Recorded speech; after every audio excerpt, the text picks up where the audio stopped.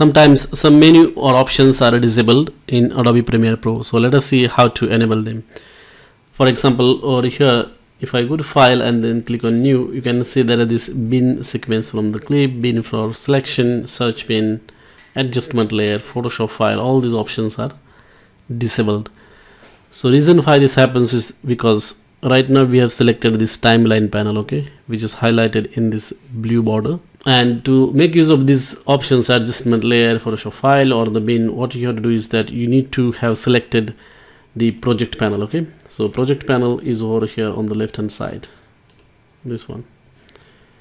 So just go here and then click project panel so now that you have selected the project panel if you go to file and then click on new you will see that most of this actually all of these options are now enabled. That's the thing. Just make sure that you have highlighted this project panel and then you will have all these options enabled. Thank you for watching